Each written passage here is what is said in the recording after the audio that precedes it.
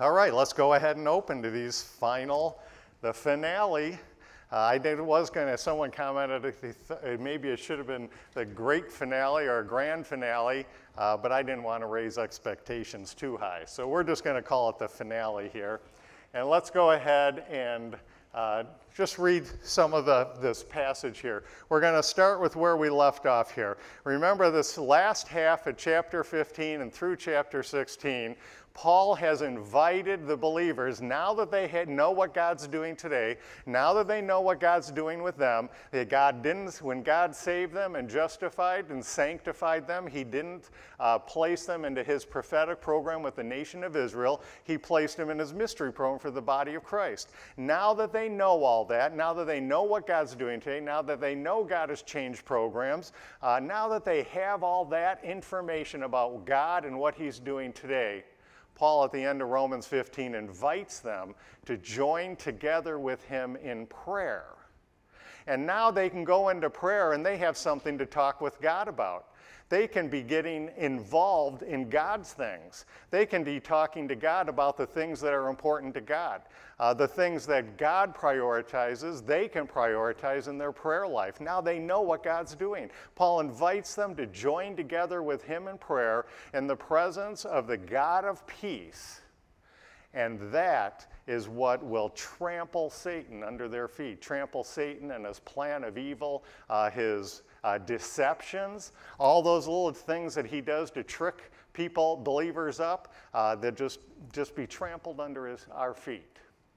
Of course, the flip side of that, that's the invitation to join together with him in prayer based on everything uh, he's taught them in Romans, uh, the book of Romans through chapter 15 there.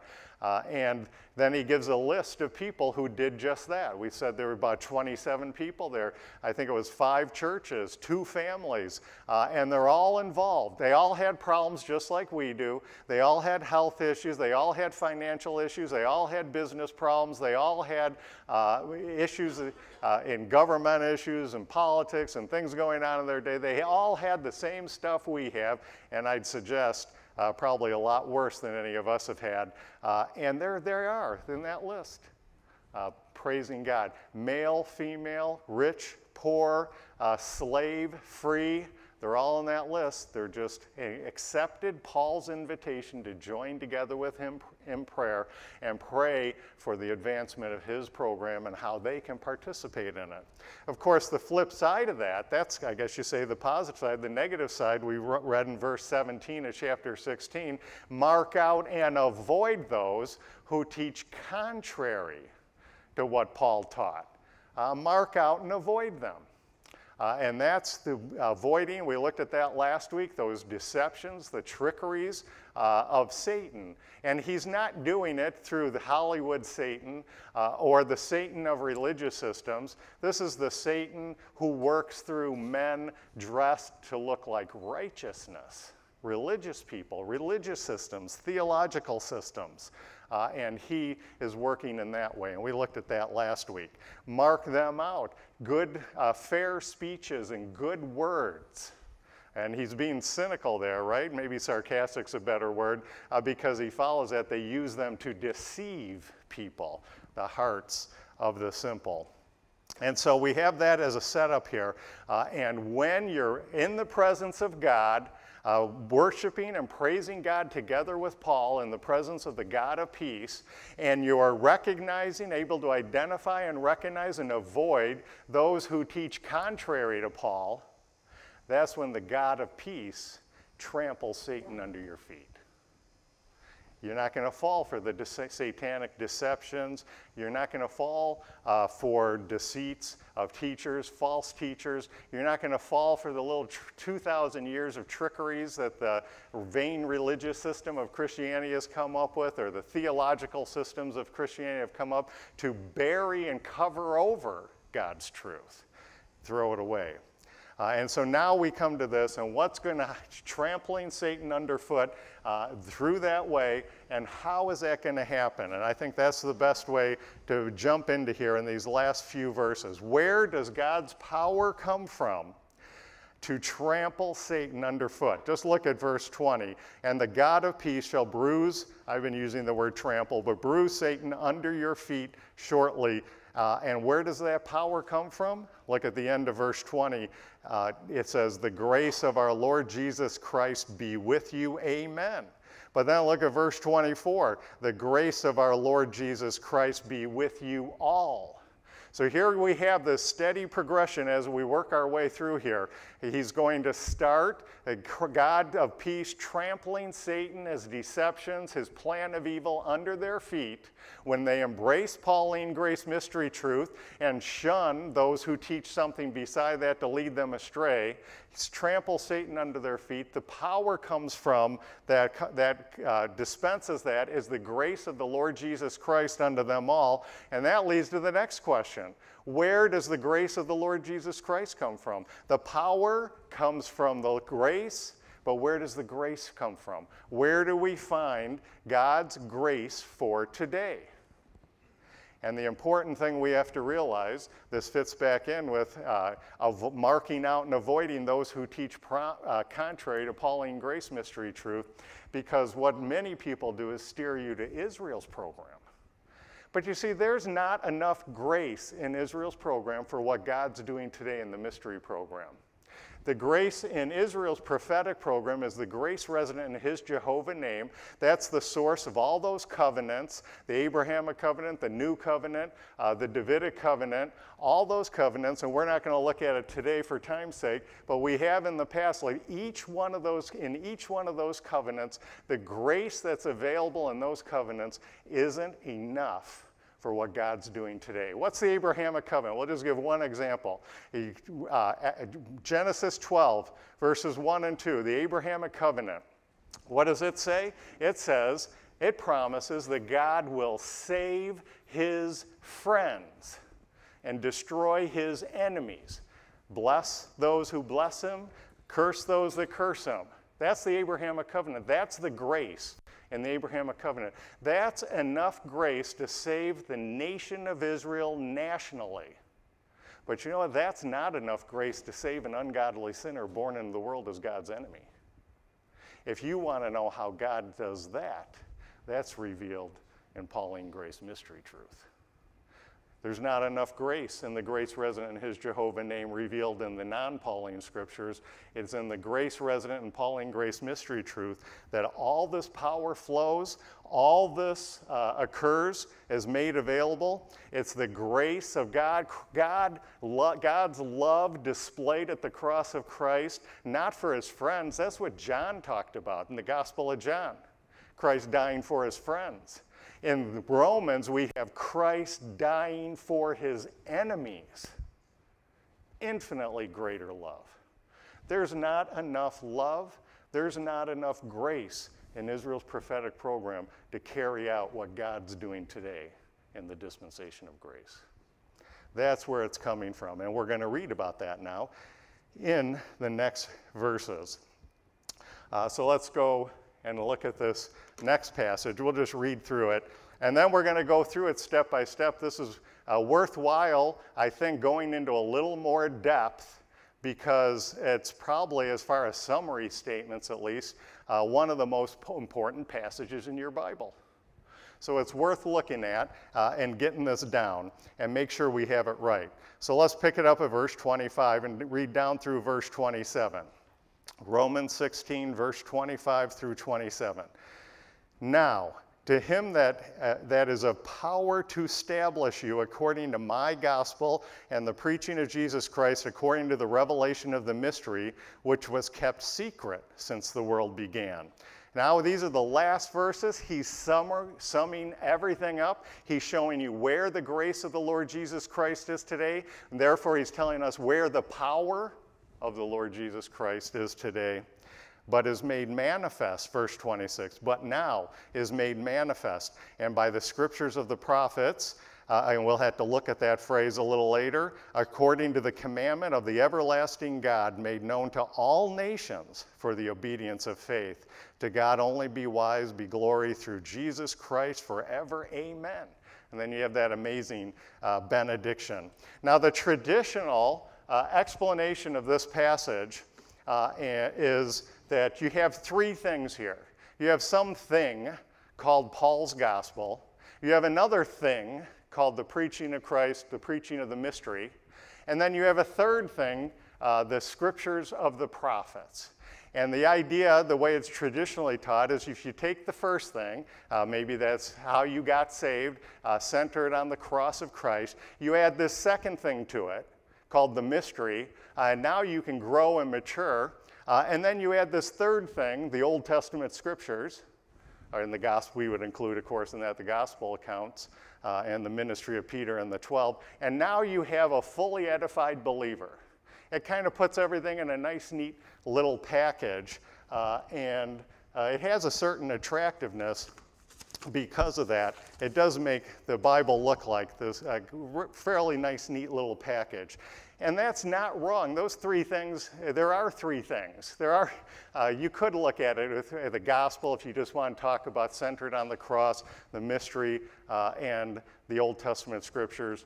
My point is, I don't think that's what God and Paul are talking about here.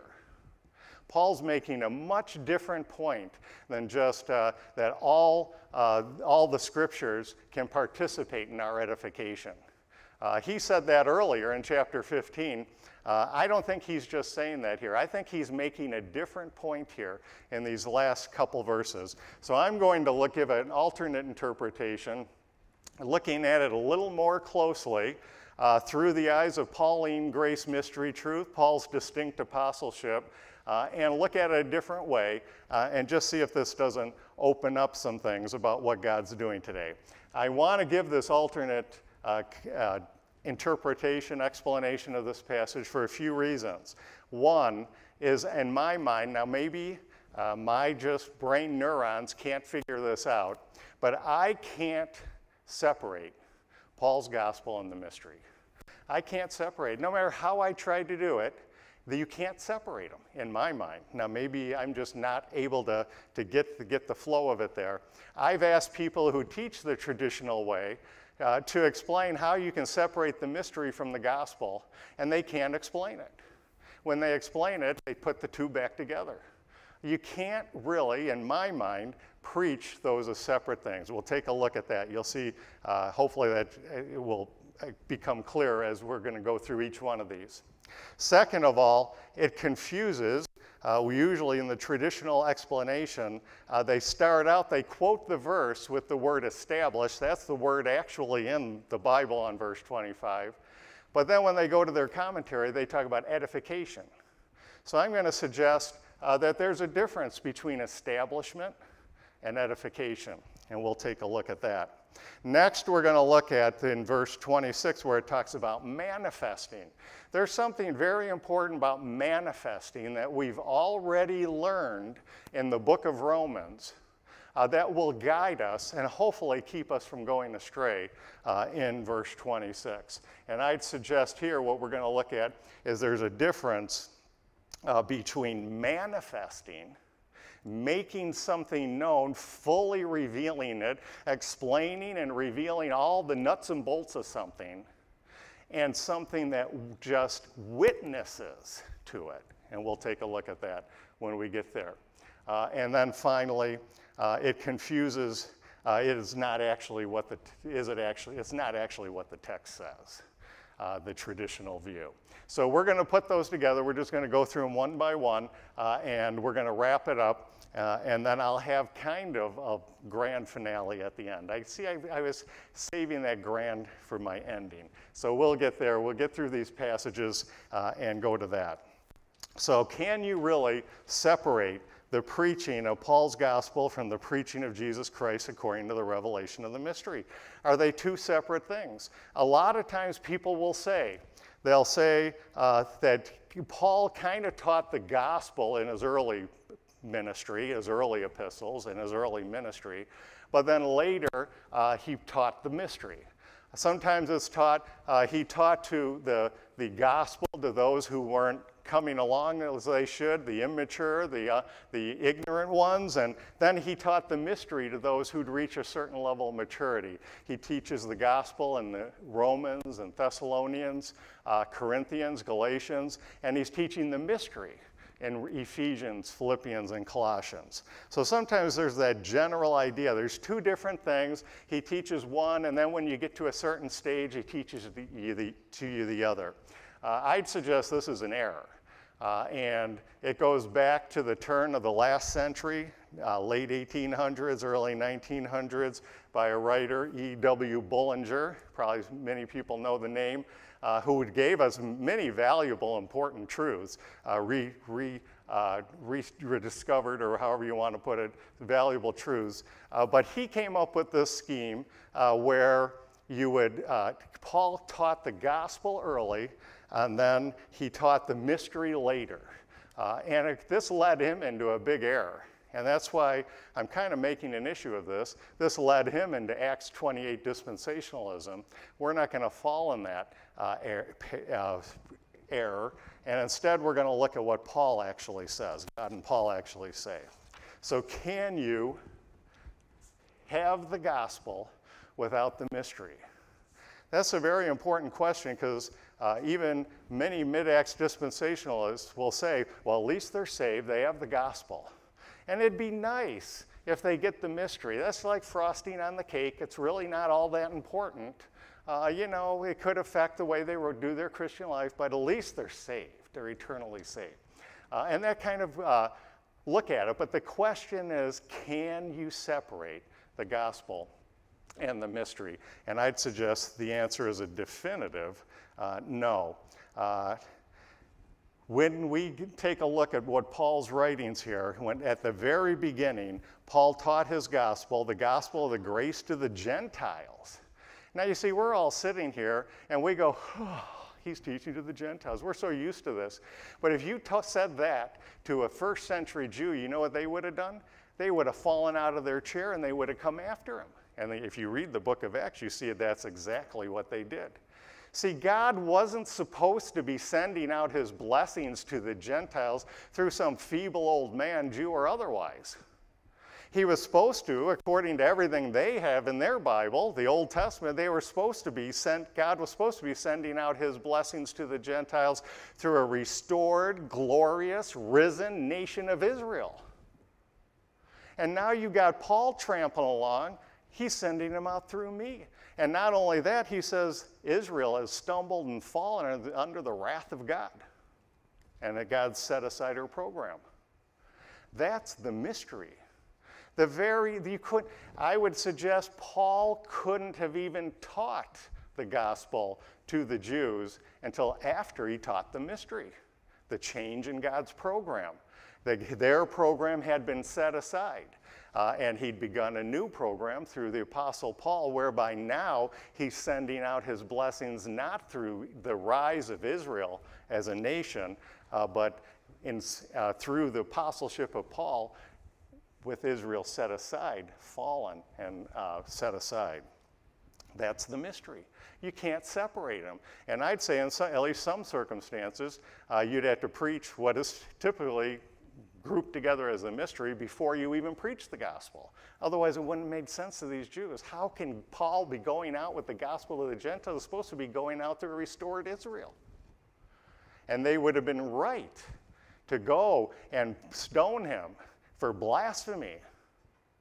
He would have had to explain the change in God's program. Otherwise, it wouldn't have made any sense to them uh, as he went out in his missionary journey. Uh, the non Pauline scriptures, all, the only thing God had ever revealed before Paul regarding blessings going to the Gentiles was with Israel through her rise.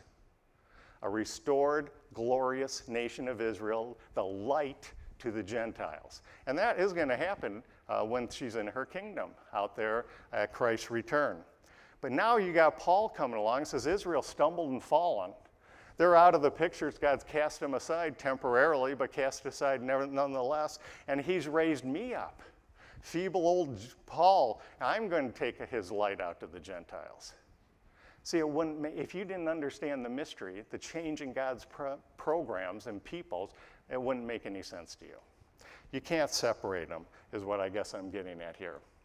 The only way Paul could have preached the gospel of grace, especially to Jews, uh, would have been by first explaining his role in this mystery, his role uh, as an, God's apostle for today, and God's change of program, what God is doing today.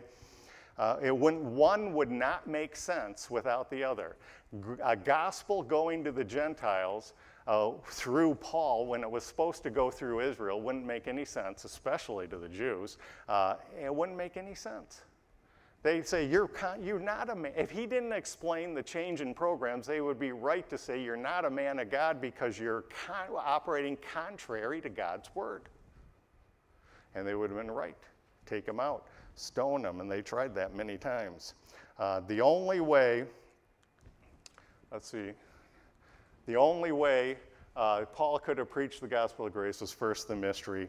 Uh, and of course, now these last 2,000 years, uh, Christianity's man made religious systems, man centered theological systems have had 2,000 years to try and cover that up, divide out the gospel and the mystery, uh, and uh, cause all kinds of divisions and problems within uh, true, and I'm just talking here about true believing Christianity, not even apostate Christianity, Christian name only, unbelieving Christianity, uh, but true believing Christianity. Without Paul's mystery truth, Paul's gospel truth is nothing.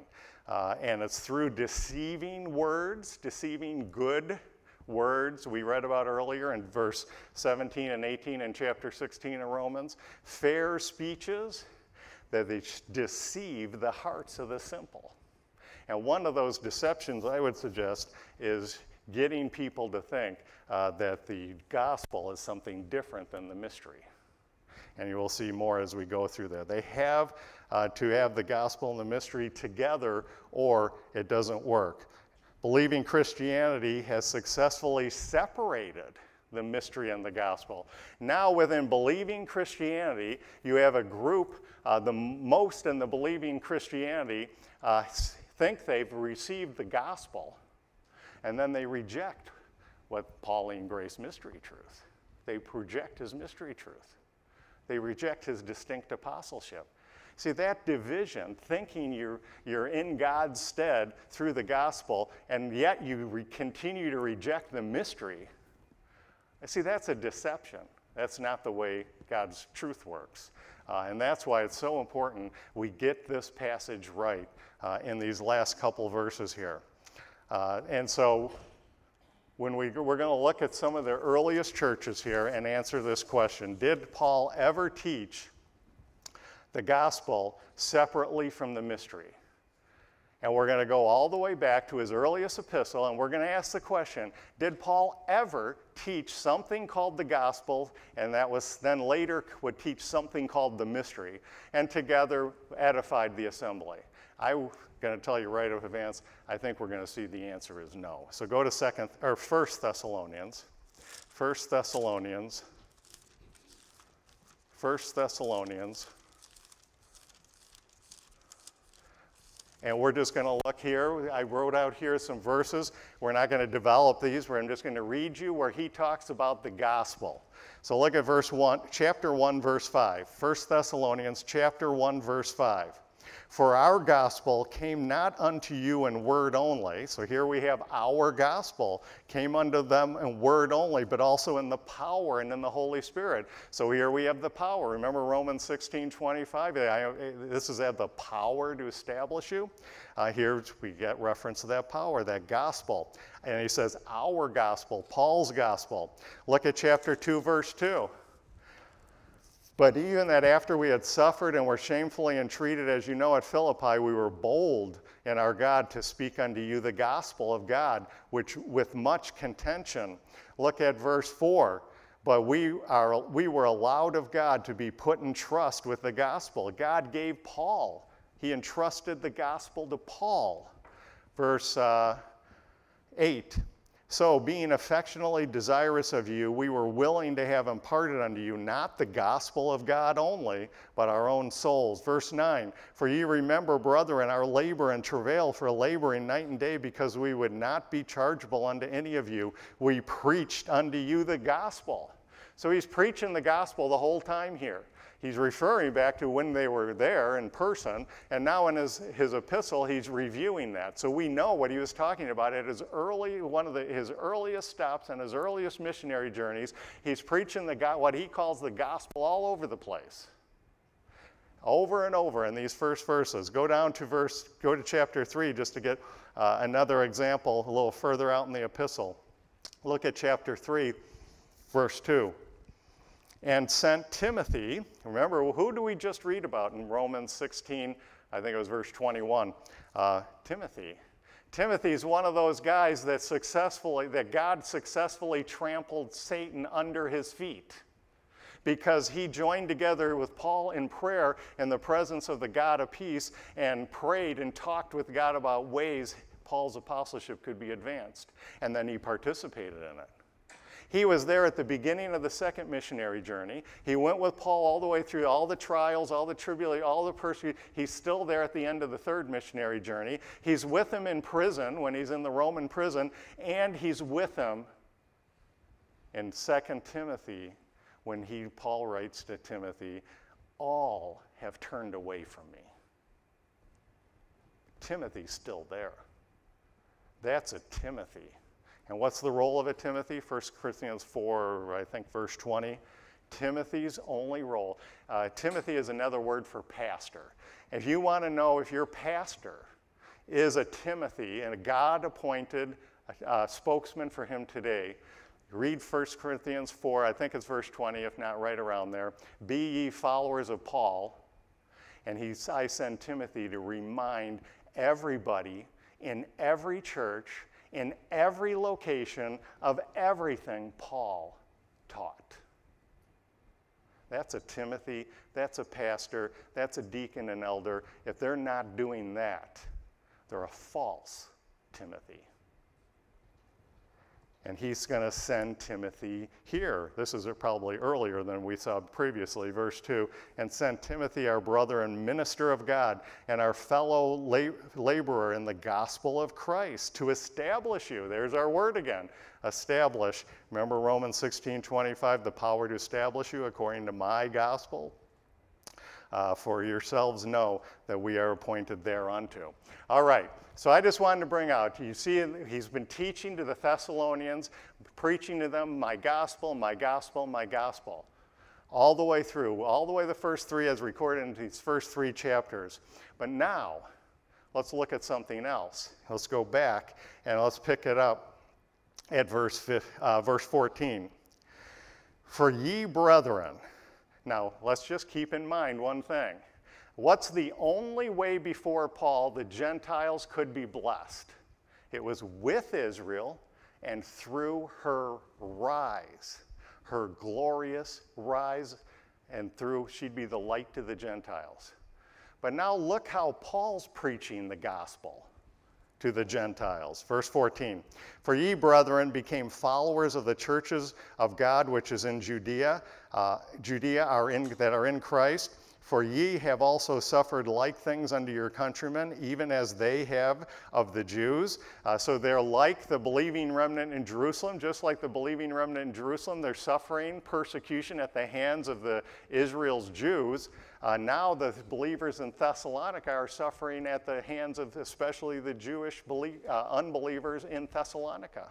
So, in that way, they're related to that assembly in Jerusalem, who both now he's talking about the, what the status of Israel at this point, who both killed the Lord Jesus and their own prophets and have persecuted us, and they please not God and are contrary to all men, forbidding us to speak to the Gentiles. Now, why were they forbidding them to speak to the Gentiles? Well, it's because in Israel's program, Gentiles aren't supposed to be spoken to through some feeble old man, Jew or otherwise. They were supposed to be spoken to through a risen, restored, glorious nation of Israel. But how is Paul preaching to the Gentiles? He's preaching to those who killed the Lord Jesus Christ, who killed the prophets, who are persecuting his spokesmen, who are contrary to all men, forbidding us to speak to the Gentiles that they might be saved, to fill up their sins always. For the wrath has come upon them to the uttermost. Does that sound like uh, a restored nation of Israel shining the light of God throughout the world? It says they're, they're in ruin under the wrath of God. That's the mystery. You can't separate the gospel and the mystery. It wouldn't make any sense. They go together. The mystery is that God set aside the nation of Israel, and he's sending out his blessings now through the apostleship of Paul and going out to the Gentiles. So, no, they didn't, the, uh, the, the, they were taught mystery truth. Uh, along with the preaching. They, in other words, they, when he preached the gospel, he was also preaching the mystery. They have to, it goes together. Otherwise, he's automatically, if God didn't change programs, that's the mystery, I guess you could summarize it, then Paul had no right to preach the gospel. It's as simple as that. And they were right to forbid him to speak based on their scriptures. God started something new, though. That's the mystery truth. In addition, of course, uh, at the end of this epistle, we have a wonderful mystery truth, the rapture given, the rapture of the body of Christ. Uh, and so there's another mystery truth. So in his very earliest epistle, when, and he's referring back to what he taught them in person before that even, the preaching of the gospel was equal to the preaching of the mystery. They go, they're together. They're not separate. They're one item. Preach one, preach the other. Let's see if that's true in some other places. We'll look at these a little more quickly. Let's go to 1 Corinthians. 1 Corinthians. Here's another early epistle.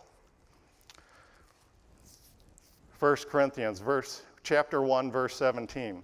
For Christ sent me not to baptize, but to preach the gospel. Uh, and verse 18, for the preaching of the cross. So you got the preaching of the gospel, the preaching of the cross. Uh, look down at verse 18. For that is uh, for that in the wisdom of God. Now we won't turn there, but what do you? I hope everyone remembers. What does Paul say at the end of explaining the mystery in Romans 11? What does he call it? He calls it the wisdom of God. I think it's Romans 11:35. Uh, we won't turn there, but you can see that the wisdom of God. He's preaching, in preaching the wisdom of God, he's preaching the mystery. Just a few chapters before this in Romans, he calls it. The mystery is the wisdom of God. Here he's preaching the cross, preaching the gospel, he's preaching the wisdom of God, which he's already explained in Romans is the preaching of the mystery. And we could keep going through that whole passage. We'll pick it up over in chapter 2 now. Verse uh, 2. For I determined not to know anything, anything among you save Jesus and Him crucified. Uh, so does that mean he didn't teach the mystery? You know, that's what it's usually taught. These were uh, carnal Christians. They weren't mature enough to understand the mystery. Uh, so they got to get up with the program. Then they'd learn the mystery. No, uh, because we've just showed when he's preaching the cross, he's preaching the gospel, he's preaching the wisdom of God, he's preaching the mystery and he's going to say it explicitly. Keep going. Let's read down uh, verse oh, 5. That your faith should not stand in the wisdom of men, but in the power of God. We're back to Romans 8, uh, 16 25. Howbeit we speak wisdom among them that are perfect, yet not the wisdom of this world, nor the princes of this world that come to nothing. But, verse 7, we speak the wisdom of God in a mystery.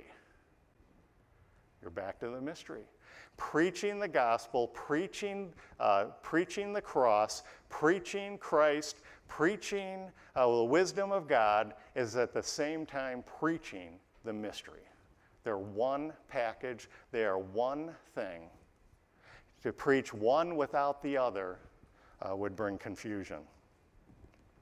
Then we can go to the book of Romans. Uh, does the Romans uh, only, you know, sometimes it's taught Romans is the gospel. I've actually seen commentaries set up this way, you know, whole Bible commentary. Romans is about the gospel, uh, and Ephesians is about the mystery. Is that true? Are they really separate? Has Paul separated them out? We'll go to Romans 1. How does the whole book open? Romans 1, verse 5. By whom we have received grace and apostleship for obedience to the faith among all nations for his name. That's the mystery. Paul is, as I've said 14 times this morning, Paul isn't supposed to be taking God's light out to the world. Israel's supposed to be doing that. The nation of Israel is supposed to be doing that. But Paul opens this passage with the revelation God's raised him up to do something uh, that wasn't revealed before. He's raised him up to take his light out to the Gentiles, his salvation, his blessings. The book opens with that. We just read it. The book closes with that. We, that's what we read in Romans 16 25. And the book is centered on the mystery chapters 9 to 11. Uh, it's all about the mystery and the setting aside of the nation of Israel, beginning a new program for the body of Christ called this mystery program. The whole book of Romans begins with the mystery, ends with the mystery, is permeated throughout with mystery truth, and is centered on the mystery. You can't have one without the other. So it seems evident uh, that uh, from his earliest teachings, they were never separated. So, where did the separation come along? See, I think that's a good question. We think of them as separated. Even within dispensational th- circles, we think of them as separated. Well, how did they get separated? If they weren't separated in Paul's teachings, where did they get separated? Well, they got separated in the teachings of man made religious systems and man made theological systems that separated them out. And ultimately, uh, we can, if we go back in Romans, let's go back to Romans 16 now. Romans 16, we just read uh, about how Satan deceives through good words and fair speeches, Romans 16, 17, and 18, to deceive the simple. I'd suggest this is one of those satanic deceptions that have entered. Satan is getting us to divide apart. If he can get us to divide apart the gospel and the mystery, uh, then we'll have the state of current Christianity. That large uh, amount of believing Christianity, they think they're embracing the gospel, but they've rejected the thing called the mystery. Paul's distinct apostleship, this new dispensation of grace. But you can't. It doesn't matter what they think. God, the way God thinks, is they go together. The fact, all those people who don't agree, have rejected Pauline grace mystery truth, have rejected the mystery, but think they're saved because uh, they believe this thing they call the gospel. All those people, uh, none of them today, you go to any of those churches, none of them have a lamb slung over their shoulder. None of them are worshiping, worshiping in the way uh, that Israel worshiped. None of them. There's been a change in pro. Whether they acknowledge it and understand the ramifications is irrelevant. Satan has come in and from the very earliest days and has gotten historic Christianity to start dividing the gospel and the mystery. They're one and the same thing. You can't preach one without the other. They're the same thing. Whether people understand it and can vocalize an explanation is, is beside the point.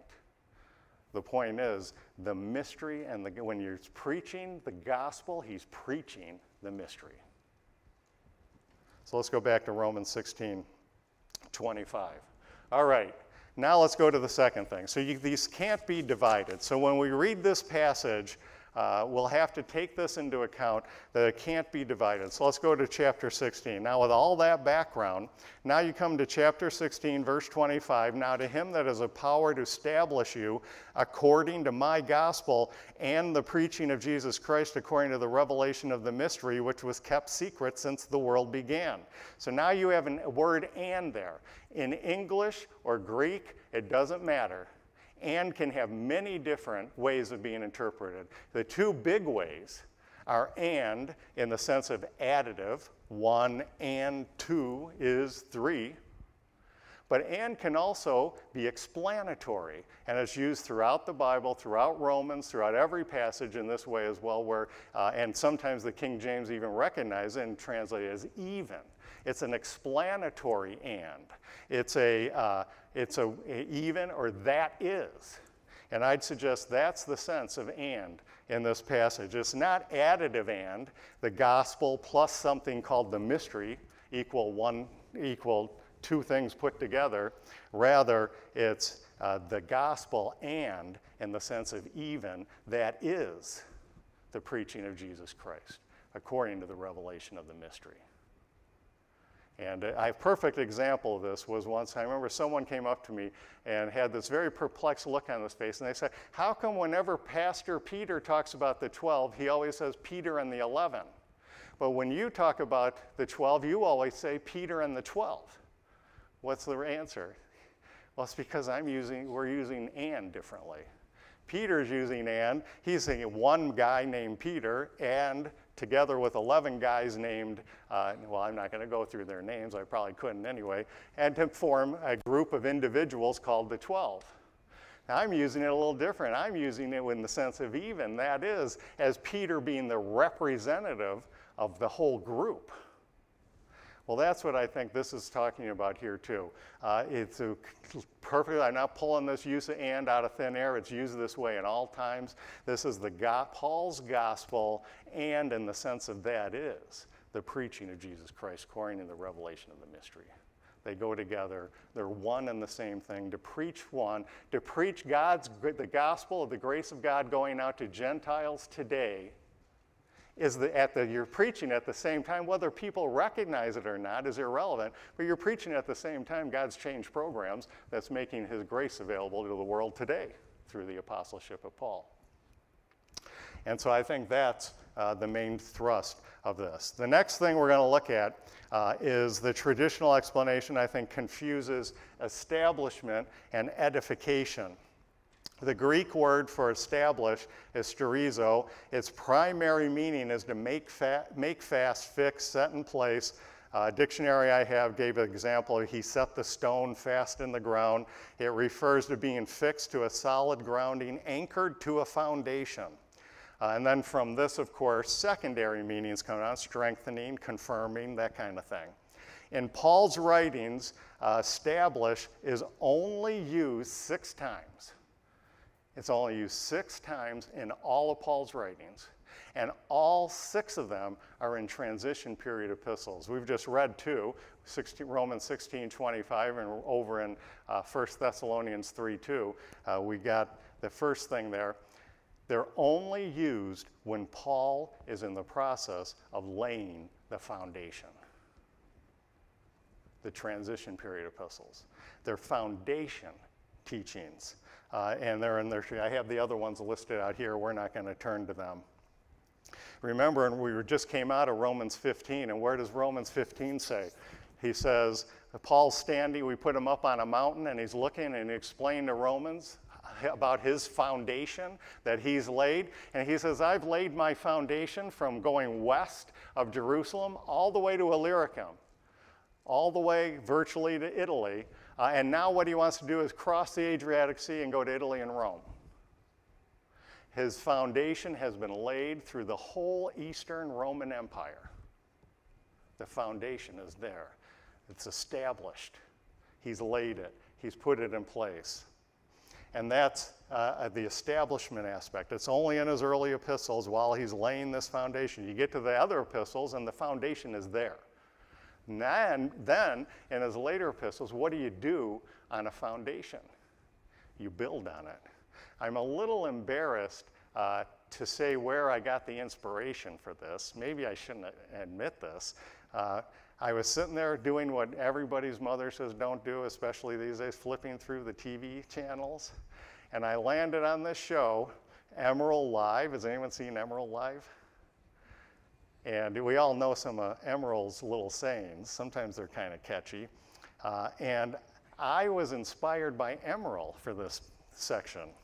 Uh, and I know some of you are now going through your head, what was those famous Emeril things? Bam! Remember, he'd put some salt in and go, bam! You can see I like Emeril. Uh, or what was the other thing he said? He'd, he'd spice things up or brown it a little too, too long, and he'd go, We're going to kick it up a notch. Well, neither of those things are what I heard him say that inspired this. Uh, those, those are pretty good things. What he said here, uh, he got down on his counter, and you know how he does, and just kind of talks to you, and he says, You got, now he's building a dish, right? A, a food dish. You got to lay the foundation before you build the structure. And he just looked at me like, That's it. I'm going to steal that. And so I stole it. And here, that's why I'm here. Uh, You have to lay the foundation and then you build the structure. Now, isn't it interesting? You flip over just two pages in my Bible to chapter 3 in Corinthians, and look what he's talking about. He's talking to the Corinthians. He's explaining what he's done. 1 Corinthians 3, verse 10. According to the grace of God, which is given unto me as a wise master builder, I have laid the foundation, past tense, and another buildeth thereon, and others are going to come and build on it. And they better watch how they build. You got to lay the foundation before you build the structure. Uh, and I'd suggest edify, establish is laying the foundation, edify is building on the foundation, on the structure. And whereas in establishment, in establishment, uh, only Paul's epistles. Well, we'll look at that at the next thing. So we'll pick that, go on to the next thing. That leads us into the next thing, uh, the going from the difference between uh, establishment and, ed- and edification. Now we get the difference between manifesting and witnessing. Look at verse 26. But now is made manifest. Uh, so, what's made manifest? What's manifest, uh, revealed completely, completely reveal and all the nuts and bolts explain fully, uh, manifest, uh, and it's being manifested. Well, it's this Paul's gospel and the preaching of Jesus Christ according to the revelation of the mystery that he just talked about. But let's look at one other thing, see where it all started in Romans 3. Romans 3. Look at verse 21, very important verse to help us in our passage here. Romans 3, verse 21. But now, so when he says but now, does he mean it was before or even after? No, it's through his apostleship, what God's accomplishing through his apostleship. But now the righteousness of God without the law is manifested through Paul's apostleship, through Paul's preaching uh, of the gospel, uh, preaching of the Jesus Christ according to the revelation of the mystery, being witnessed by the law and the prophets. The, this is something that got the difference between manifesting and witnessing. Only Paul's teaching is manifesting this, making it known, revealing it. The Old Testament scriptures, all they can do, according to Romans 3:21, is witness to it.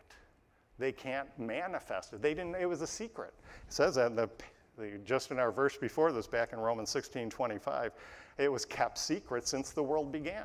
So, are you going to be able to go to the Old Testament and get it? No. You have to go to the but now, the scriptures of Paul, to get it. Uh, and Paul is the one who manifests what God's doing today.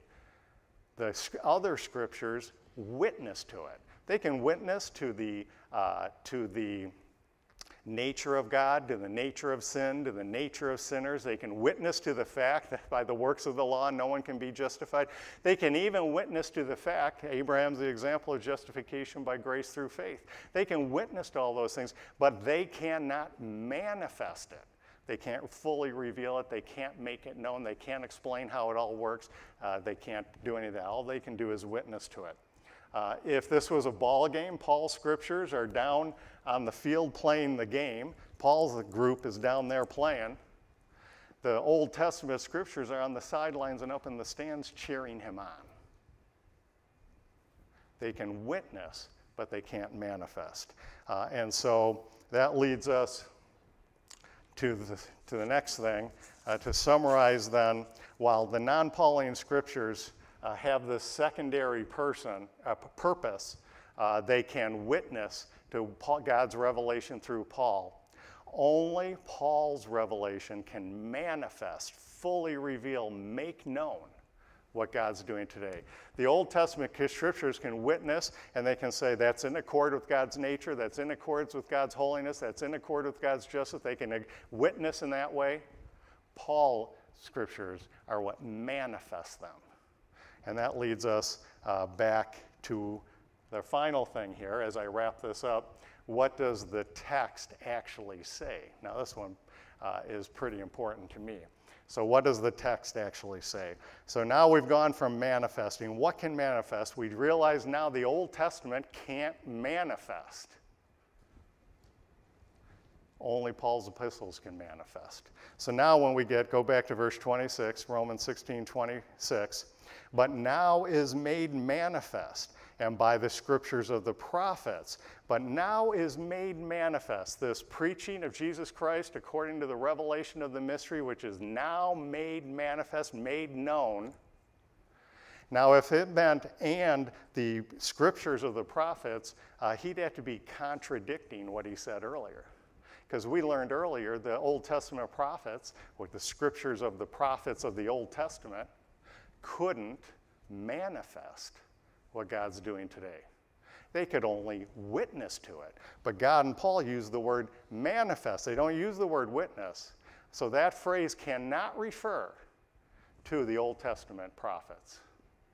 And if you, you know the answer, if you have a New King James Version, uh, the New King James has corrected that. And what does it say there?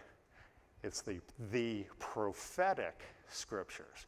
There's a big difference between the scriptures of the prophets, which would be the Old Testament prophets, and the prophetic scriptures. Now, here's the question. Uh, all the Bible is prophetic scriptures. So it's going to force you to ask another question that the King James prevents you from asking. It forces you to ask the next question well, whose prophetic scriptures? And since we just learned about manifesting, and we just learned that everything this he's referring to here was kept secret since the world began, it can't be the prophets of the Old Testament or Christ's earthly ministry or the ministry of Peter and the Twelve. It has to be the prophetic scriptures of Paul, not least of which being this epistle to Rome, this foundational doctrine as put forth in the book of Romans.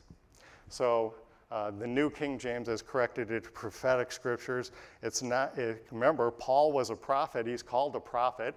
Uh, the prophets of the Old Testament were the many prophets of Israel. Paul is the one prophet and apostle for the body of Christ. His scriptures are as prophetic as anyone else's. He was a prophet, a spokesman for God. And so when you now read through this passage, uh, this is how I would suggest uh, we're to understand it in the light of all Paul's teachings, all Paul's epistles, the whole book of Romans.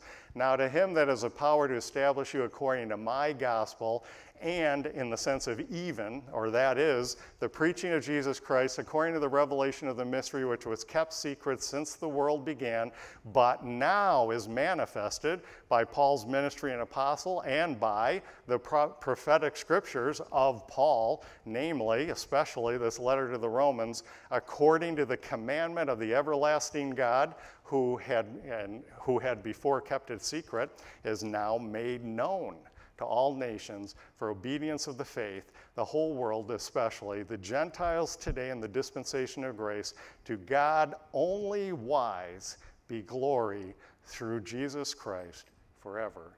Amen. And that's my conclusion to the book of Romans.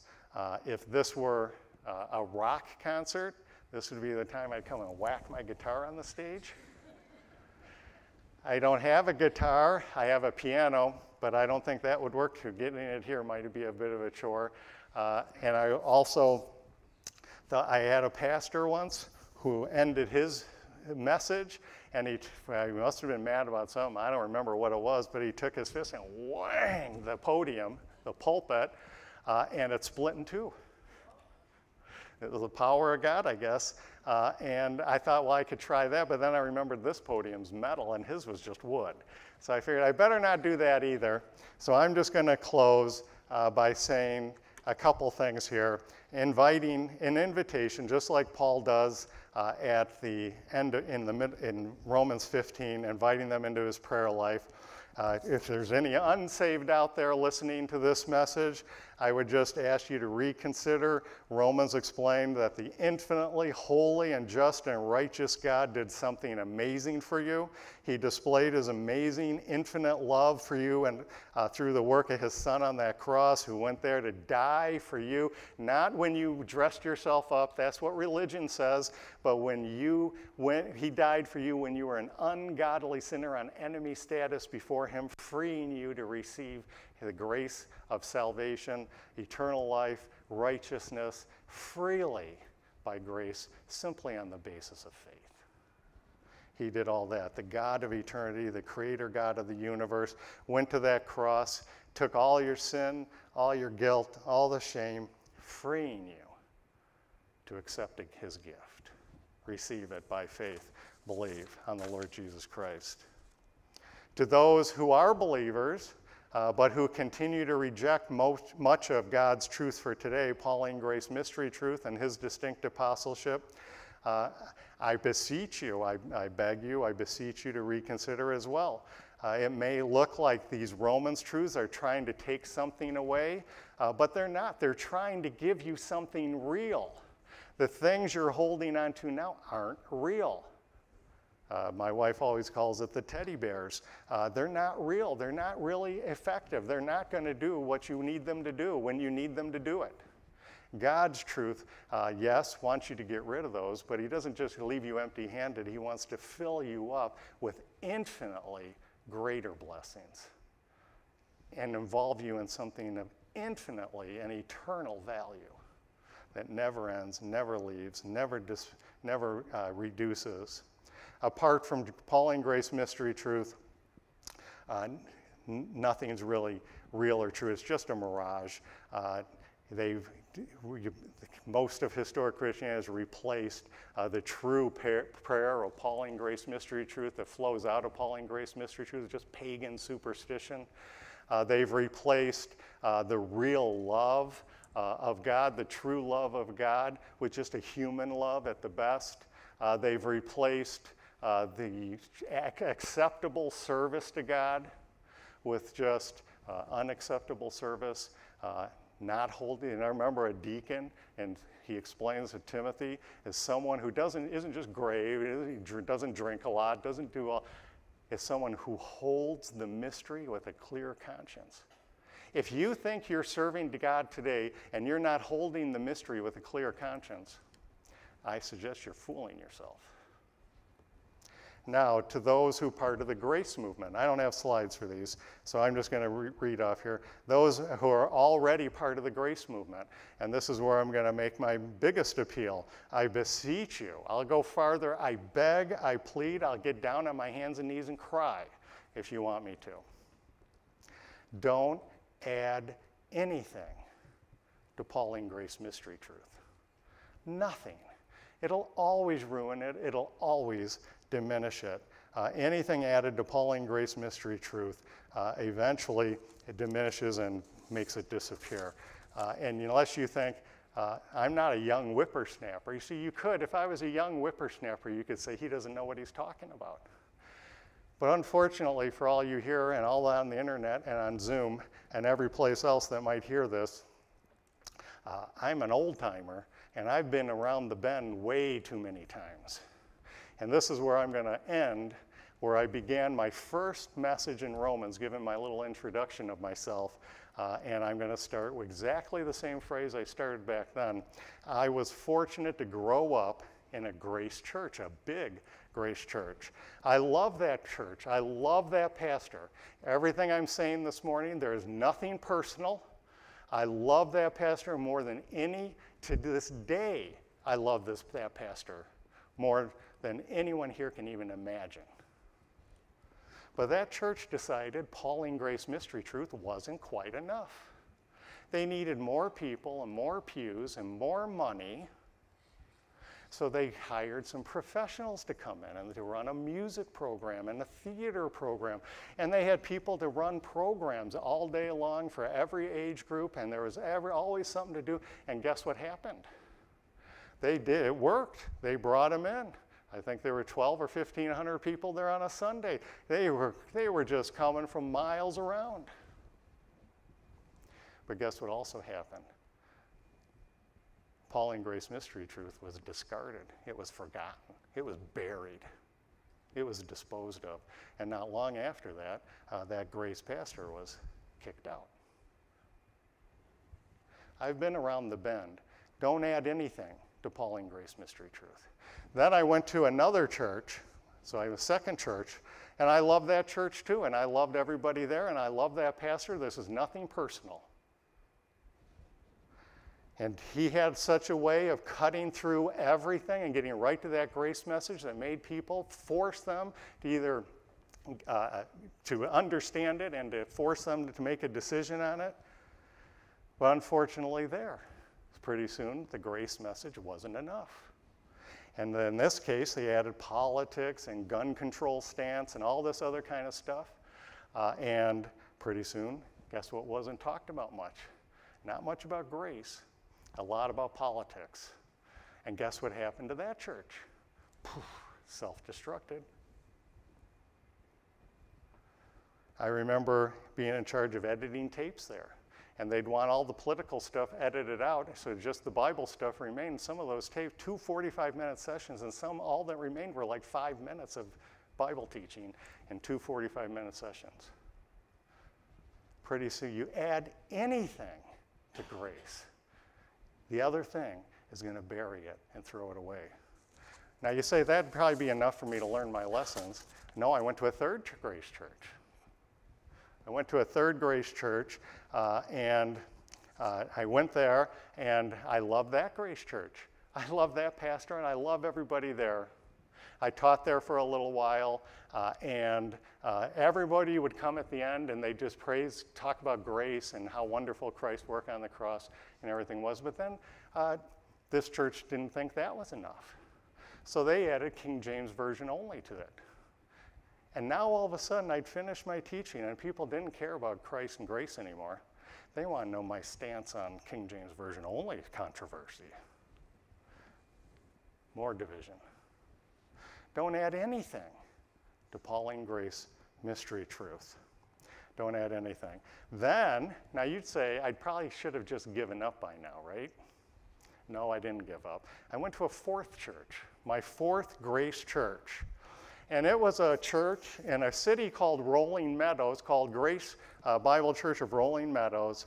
I was a little sarcastic inside, maybe a little cynical, uh, I went there wondering what's this pastor going to be replacing grace with or adding grace to or adding to grace, ruining grace. But guess what happened? I went week after week and month after month, and before long it was a year or two. And you know what this pastor kept doing? He kept preaching grace. Thank you, Pastor Peter Philippi. You saved my life, and I know You've saved the lives of many people looking for God's truth. And I'm so thankful for this assembly. So that's my history. I've been around the bend, uh, and I can even go from here. If you're, a, if you're a Bible society who has a beloved founder, uh, and you're clinging to those truths as those, those are the words of God. That founder gave us a lot of good things, but now as new uh, truth and new understanding comes along, you have to change some of those things. Like, for instance, how Old Testament saints are saved. That is the biggest, biggest detriment to uh, talking to Reformed and Covenant theologians. You need to fix that doctrine. Don't cling to it just because your founder uh, clings to it, clung to it straighten out that doctrine. If you're working on some other project, set that project aside. You got to work on that one. Unless you think I'm God, I can pick out everybody's others errors. I'll just tell you, every morning I get up uh, and I just pray to God that if there's anything, and I close the night with this too, if there's anything I'm adding to grace to Teach it to me, show it to me, rip it off me, no matter how much it hurts, and just let me preach grace. Uh, and that's what I strive to do. I've told the board here, uh, I've actually given my signed letter of resignation. If I ever start teaching anything else, just get rid of me. I've been around the bend too many times. And uh, I would just pray that nobody ever add anything to grace. You're not going to fill a coliseum. You're not going to draw in all the people who want sports and programs and all the socialization. But you're going to remain uh, firm with God's truth. And on that note, we'll close uh, out the study, the official study of Romans, uh, in prayer. Heavenly